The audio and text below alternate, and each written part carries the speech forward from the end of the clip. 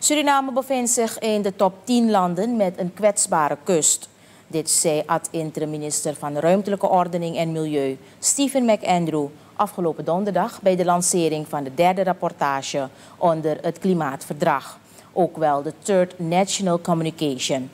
De bewindsman benadrukt dat hiermee duidelijk moet worden hoe kwetsbaar Suriname is voor de effecten van klimaatverandering.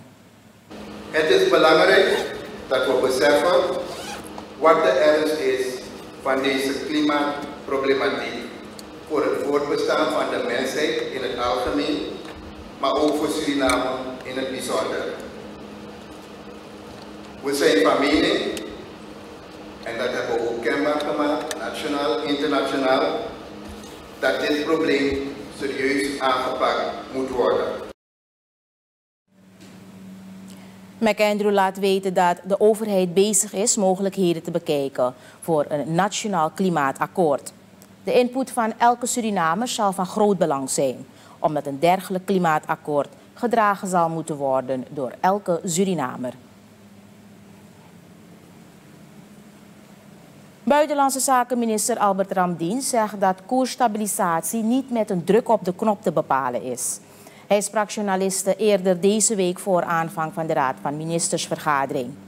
De beantwoorde vragen over de maatregelen die president Chandrika Prasad Santokhi heeft getroffen om de uit de hand gelopen koers aan de ketting te zetten.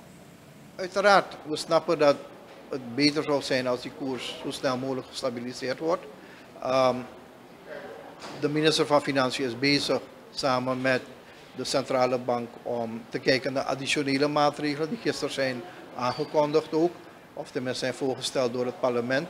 Daar kijken we heel serieus naar. Het heeft echt de hoogste aandacht van, van de regering. Um, maar nogmaals, een koers is een reflectie van wat in die samenleving gebeurt met de verschillende financiële actoren.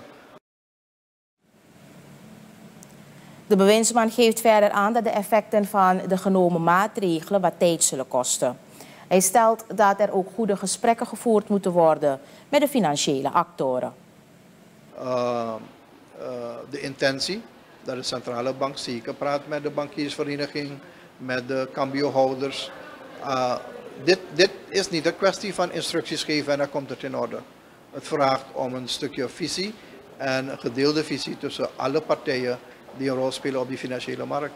Het is geen eenvoudige zaak, tegelijkertijd niet een zaak die um, onmiddellijk tot resultaten leidt. Maar we zijn er wel van overtuigd dat met alles wat er omheen gebeurt, dat het vertrouwen toch wel zal toenemen en dat men een stukje rust kan terugvinden op die financiële markt.